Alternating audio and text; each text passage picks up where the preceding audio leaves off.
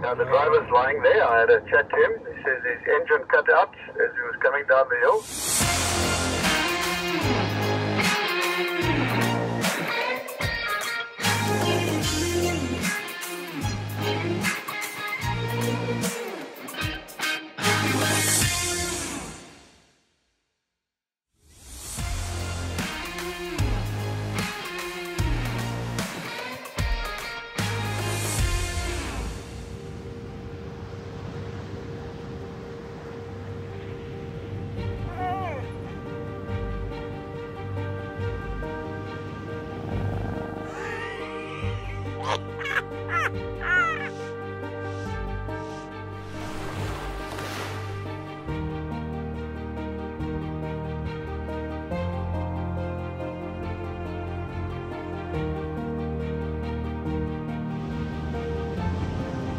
There's cow on the right hand side of the road.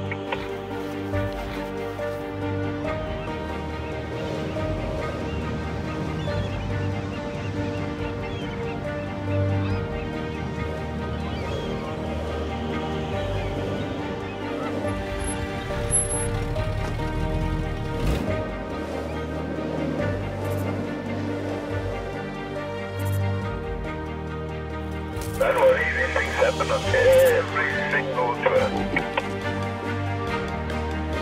yeah, of course.